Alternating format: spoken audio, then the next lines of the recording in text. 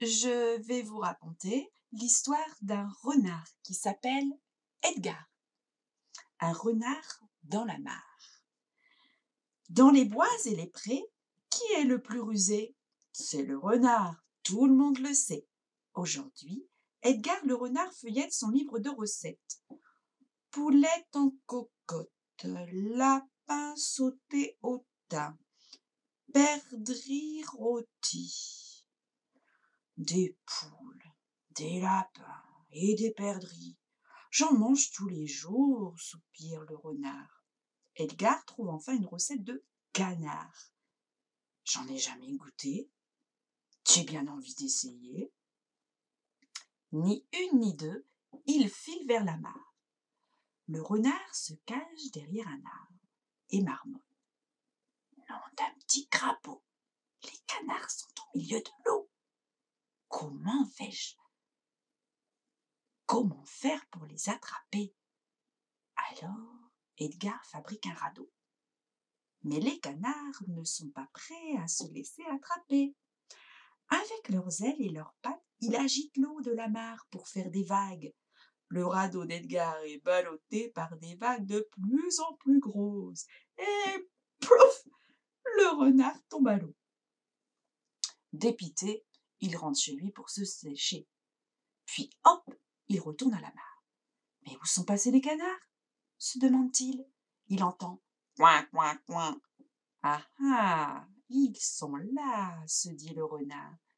Il se glisse sans bruit entre les roseaux et finit par se perdre dans le labyrinthe de la mare.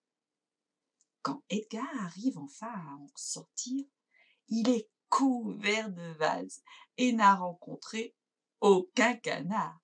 Dégoûté, il rentre chez lui pour se laver. Edgar réfléchit et tout à coup, il a une nouvelle idée. Avec du bois, un peu de peinture et quelques plumes, il fabrique un faux canard.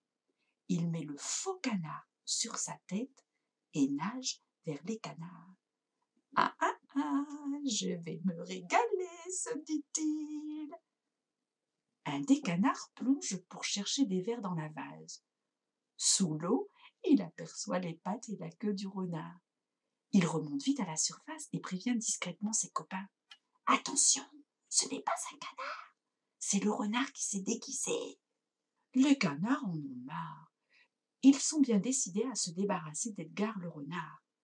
Alors ils font mine d'accueillir le nouveau venu. Viens avec nous là-bas, il y a de gros vers délicieux dans la vase. Le renard sourit sous son masque. Mon plan marche bien, pense-t-il.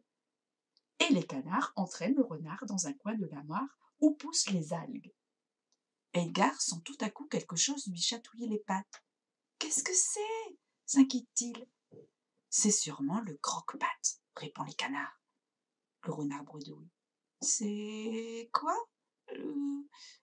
Le, croque-patte Un poisson vorace qui mange les pattes, répondent les canards. Edgar bondit illico hors de l'eau et s'enfuit dardard. Les canards ricanent. On n'est pas près de le revoir. Dans les bois et les prés, le plus rusé, c'est le renard. Mais dans la mare, les plus rusés, ce sont les canards.